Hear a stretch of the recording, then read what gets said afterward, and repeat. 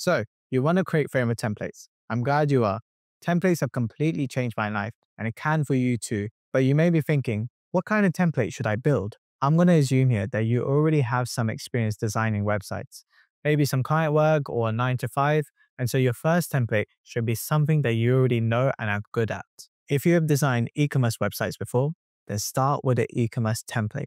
If you have experience designing agency websites, then your first template should be an agency site. Your first template will be the gateway into this business model. So you want to start with something that you're already knowledgeable in. Before my first template, I built a lot of portfolio websites. Naturally, as a designer, you're never truly satisfied with your own site. And so from early 2022 to late 2024, I built multiple versions of my portfolio website.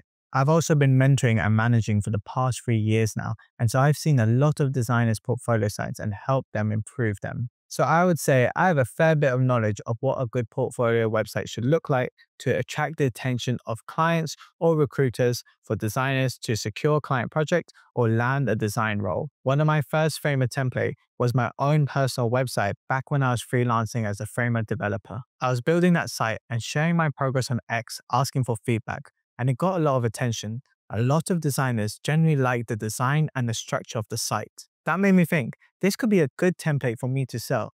And that's exactly what I did. I changed the content a bit, mainly the images of myself, packaged it up, and listed it as a Framer template. Caleb.design was built in February 2024, and it still brings in sales to this day. Hands down, it's our best selling template. Back to building your first template. So that's exactly where I would start.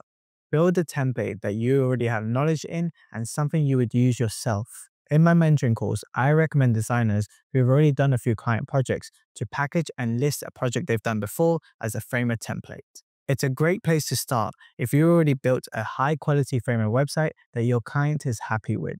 If you haven't built any Framer websites before, then the other option remains to build them from scratch.